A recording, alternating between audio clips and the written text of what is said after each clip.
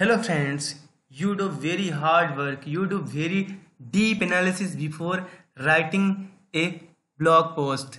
But guys, what happens to you when somebody steals your content? So guys, don't worry.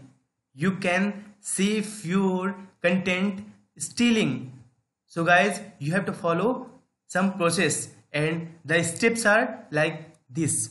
Guys, you have to remember you have to type this content in your notepad or wordpad where you want you have to copy it.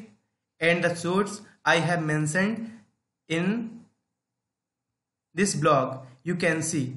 And the link of this blog i will give in description box. And guys you have to go to blogger dashboard go to layout and at below you can find slide left one click it to it. And then guys you have to choose html javascript and click it plus sign. And guys you don't have need to write anything at title.